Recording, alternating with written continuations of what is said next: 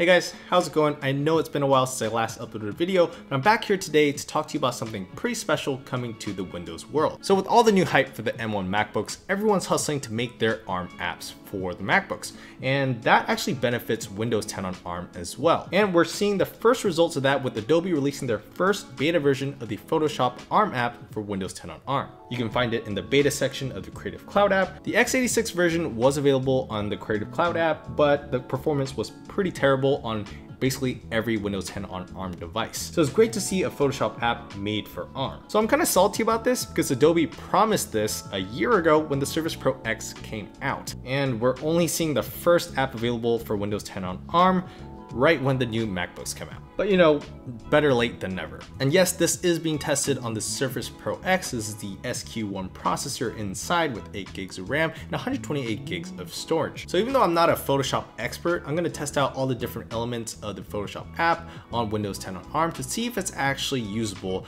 on this platform. So just for context, I'll be doing this test unplugged without the charger and the power mode will be on best performance mode. So the first thing we're gonna do is test out how long it takes to open the Adobe Photoshop app.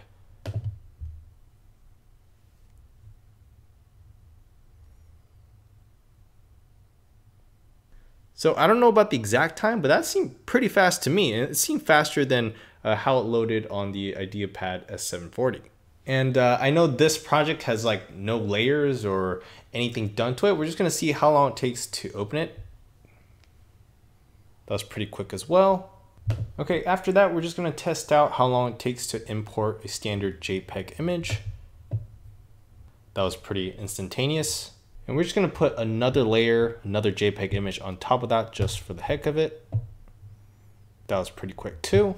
So one of my biggest complaints about the Surface Pro X was that the emulated version of Photoshop was really choppy and it was extremely bad at moving around layers and images within the app but uh, it seems that it is a massive improvement. So I know it seems still pretty choppy, but this is way faster than it was when uh, it was emulating the x86 app over this native ARM version. So as you can see, uh, even though it's still pretty choppy, it's quick to move around and it's also uh, the same to resize as well.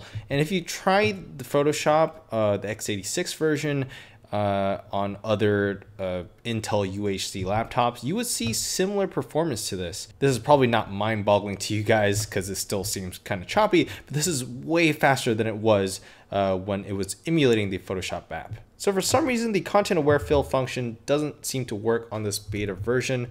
Uh, as you can see, the content aware function is grayed out here. And since we can't do that, I'm just going to test out uh, just simple copy and pasting uh, as part of a layer to see how it handles that.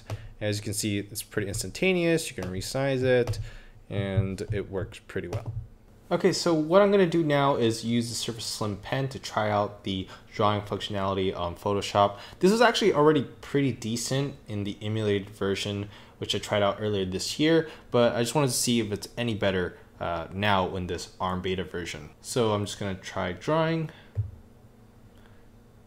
And yeah, the latency feels much better here.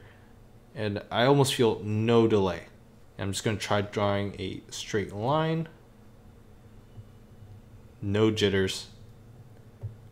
Yeah, that's that's pretty good. Yeah, I'm pretty satisfied with that. So now I'm just gonna try adding some text to see how it handles that. Yeah, there seems to be some issues with text. Uh, it's not showing up. The opacity is 100%. I'm not sure why it's not showing up, but that's probably because this is a beta and there are still issues to kink out. Actually, it just loaded.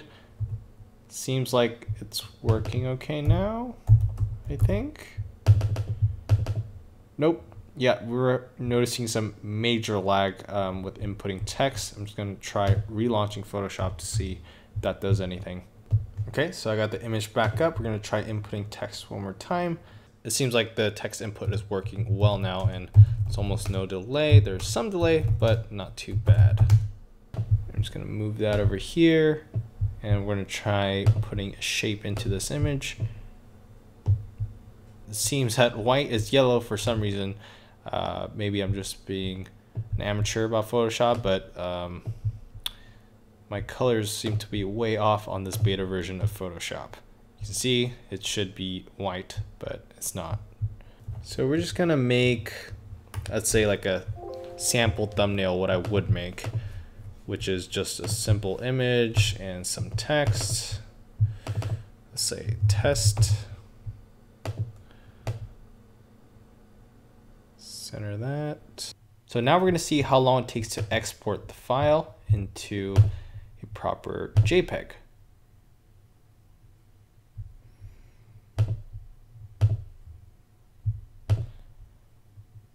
And we're gonna make the quality great.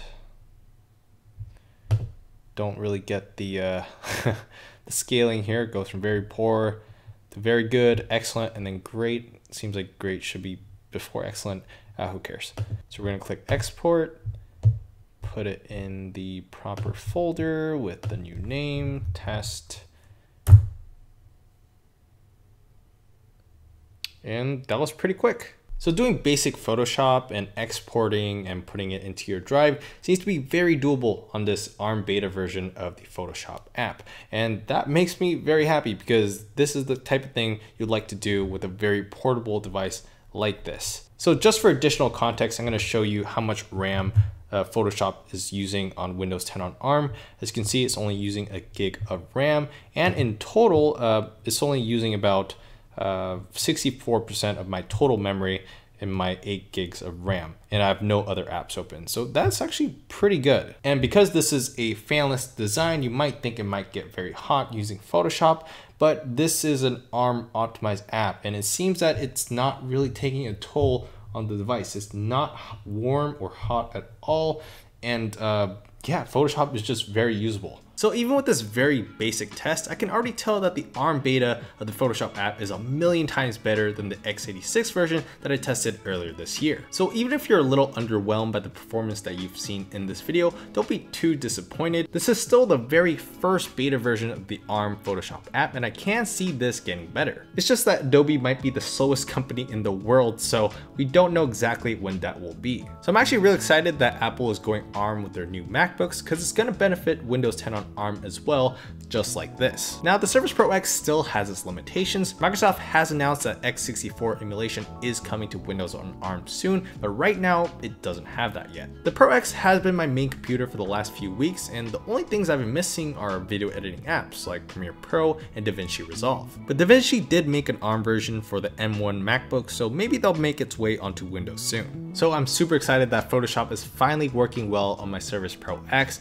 and that all these ARM computers are starting to really get hyped up because my computer is gonna get better because of that. And with x64 emulation coming out real soon for the Windows 10 on ARM platform, I'm really excited to see my Surface Pro X get even better. And I'd love to do a one year later revisited video for this device, so if you guys are interested, let me know down in the comments. Alright guys, thank you so much for watching this video. Make sure to like the video if you did, and subscribe to the channel for more videos like this. Thanks again, and I'll see you guys in the next one.